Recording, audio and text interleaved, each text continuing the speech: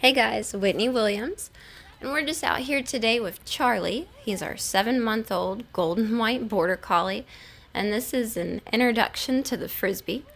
As you can see, he loves playing fetch. He's very eager to go retrieve these items and bring them back. Charlie is a lot of fun. This dog definitely has the energy to keep up with families who live an active lifestyle. He's going to have a very nice off switch in the home. Charlie has a ton of behaviors. He's going back and getting that frisbee for Michelle, and oof, there he goes, off again. So, whether you want a dog that can play fetch, play tug, check this out. It's very nice, very fun, and a really lovely out on command.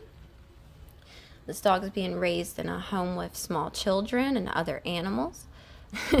and he just loves, loves, loves to work. So check out his other videos.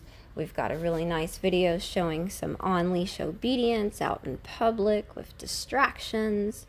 And let me know what you think. Hit the like button, subscribe to our channel. We've got fun dogs like Charlie and many others at our website dreamdogsales.com. Give us a call.